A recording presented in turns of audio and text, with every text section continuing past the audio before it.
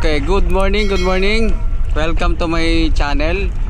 So, andito po kami sa ito pang araw-araw na trabaho namin. Meron kaming whale sharks, ah, lima, lima yata ngayon. Ito.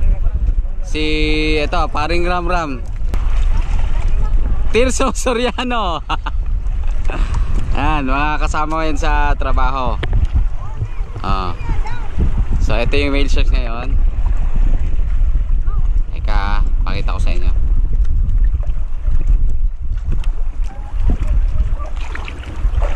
Ito na siya. Hanggis ako ng pagkain para at least ah, makita nyo. Ayan. hmm. Kita nyo? So, pwede na siyang hawakan eh. Kaya lang, pinagbabawal din sa amin na hawakan siya. Yung pagkain niya is ah, alamang.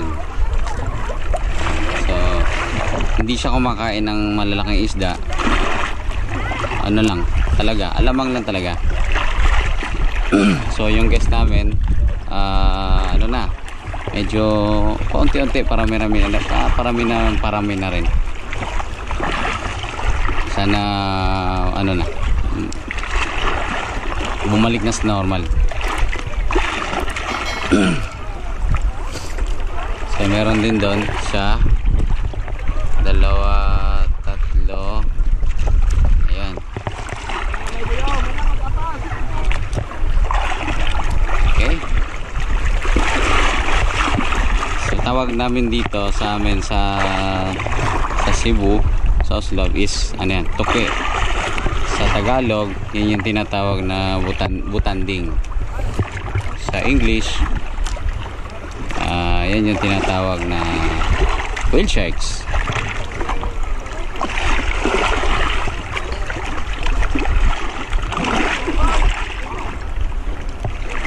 Okay, shoutout nga pala sa mga kagrupo ko sa Group 3 sa association namin sa TOSPA. Leader namin si ano si Jeffrey Dorens. Um, yung mga kaibigan ko sila Butjok Brothers Charlie Casarino um, si Jeron Ronolo Joseph Gamba. Ayan yung mga yan. Mga makukulit yan sa grupo namin. So, so far ito yung sinatawag na briefing area namin na sobrang dami ng tao dati. So ngayon medyo wala talaga kalmado talaga. Wala nang ano dahil sa pandemic. So, araw-araw may naka-schedule naman na magpapakain ito. Um, para at least sila may pagkakataon na pagka may dumating na guest, madali lang sila hanapin. Baka iniisip nyo ha, walang harang po ito ha. Yung ano nito, yung area niya. So ano lang siya talaga Natural lang talaga siya Hahanap, Hahanapin namin yan sa umaga Pagkatapos nga lang Pagka may time na hindi namin mahagilap sila Eh Yung guest naman naghihintay naman hanggang ano. Open naman kami dito hanggang 11.30 In the morning. So, eto siya. Okay. Lagay ko dito yung camera sa ano sa lagayan para at least makita nyo. Wait lang ha.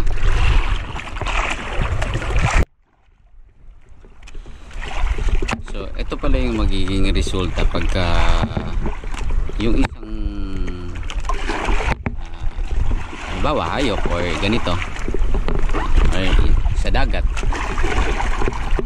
mga ganitong mga nilalang pagka hindi mo sila sinasaktan or pinapatay may tendency na ibabalik sa'yo isusukli sa'yo is ah, maganda. Drawin mo kami dito is ang nasa association namin is ah, almost 200 megit kasama na yung mga utility. Drawin mo. So malaking tulong siya para sa bawat isa sa amin na magkaroon ng ah, baga livelihood malaki talagang tulong siya sa amin malaki na bago sa pamumuhay namin dati dati nakakain lang kami sa loob ng isang araw ng dalawang beses ngayon tatlo na di ba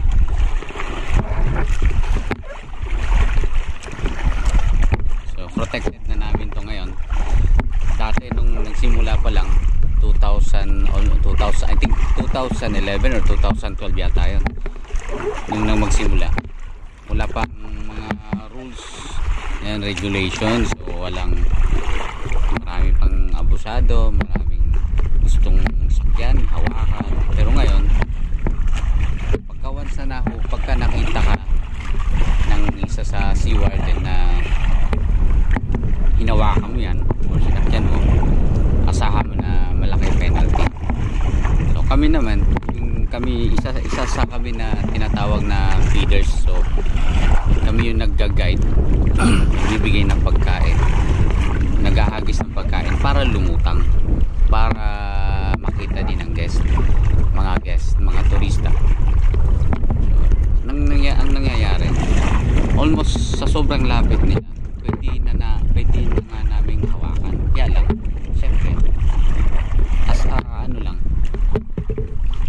kami rin yung nagpapatupad ng, ng rules. So dapat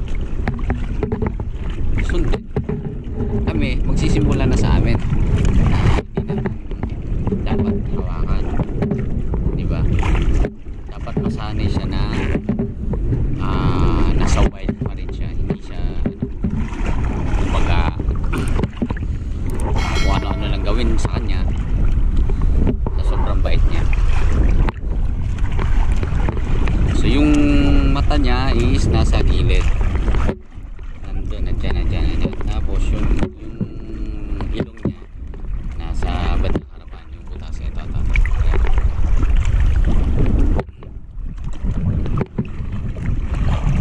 sobrang bait niyan, harmless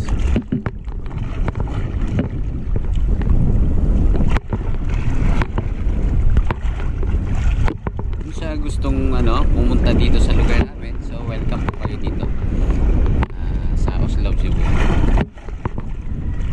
and then thank you sa panonood shout out nga pala sa mga kasolid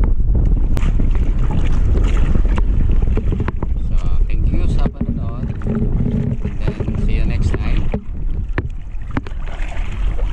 sa Okay, so doon po sa nagtataka kung bakit nandito sila sa lugar namin kasi hindi lang isang ah, dekada lang to na nag-stay dito. Kumbaga malilit pa lang kami. Mga bata pa lang kami. Nakikita na namin to. Kaya lang ang kagandahan lang namin sa lugar namin dito sa Oslo, Cebu is hindi sila sinasaktan, hindi sila pinapatay. So yung supli na binalik sa amin is yung pwede pala siyang ano, kumbaga mapagkakakitaan ng tulad ng ganito mga turista so, so ngayon kung hindi lang nag-pandemic yung baybay na nakita nyo dyan yung, yung baybay na yan, yung briefing area. Sus. Puno ng tao yan ngayon lang nung mula nung nag-pandemic pandemic, syempre, lahat ng mga uh, ibang bansa din, so nag-close din sila, hindi rin sila pwedeng pumunta sa ibang lugar tulad ng sa amin. Kaya, ah, wala talagang ano, pumapasok na kumbaga ah, mga turista. Ito nga pala, dalawang wheel sharks nasa likod, ah, nasa harap ko. So, ito, pakita ko sa inyo ha.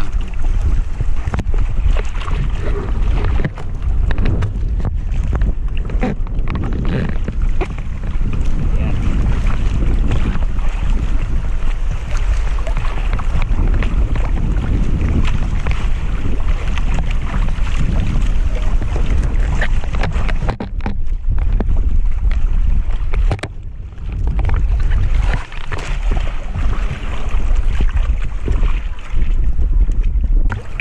Ah, alamang yan. Hindi rin niya hindi rin niya kumakain ng mm, malalaking isda.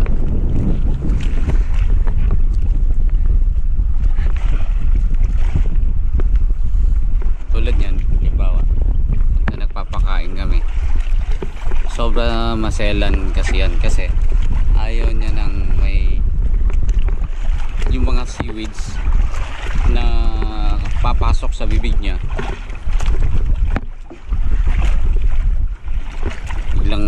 lulubog yan aalis na lang yan. Ayaw niya ng ganon gusto niya pagka nagisan siya ng pagkain ah, malinis.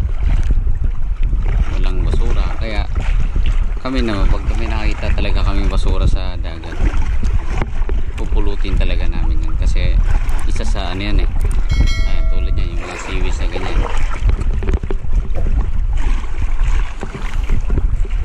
So far ngayon anin na wheel sharks ang nandito. May pumasok na guest kanina nanood. Nasa may ano 50 facts na yata. Ito nga pala videohan ko. Dalawa sila. Ayan. Ito dalawa sila okay Right. Okay, shout out nga pala kay ano, um, RNK TV. So, ano yan? Sa friend ko rin yan. Shout out sa'yo.